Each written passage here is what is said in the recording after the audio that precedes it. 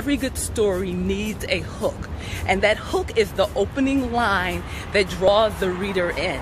It could be a line, it could be a scene. It has to be something that is gripping and that will make them want to know more about what's going on in the story. So, a couple of hooks I can think of would be uh, one that I did for Don't, which is my young adult book, and that one it began. I don't ever want to fall in love. I don't want to jump, fall, uh, or skip or run into love. That is an emotion I'm going to stay away from. And then in another book I, I began, it was I Can Smell the Vomitous Stench in the Air. And this was from Cargo. And the reason you want to have a hook, as I said, is to draw the person into your story, to have them wondering what is going on here, and to make them want to turn that page, and to make them want to read at a faster reading rate than they normally do.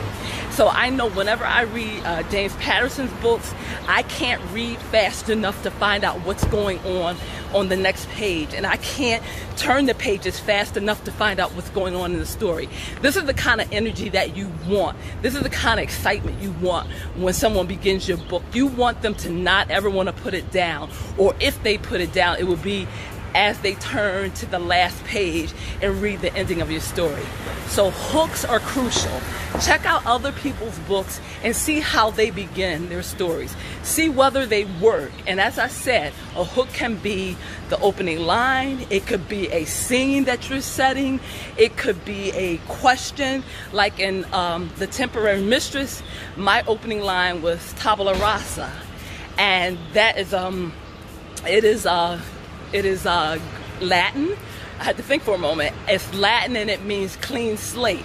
So the beginning of the story is, is letting you know that someone wants a clean slate. They want to start over again. So I hope this has been helpful.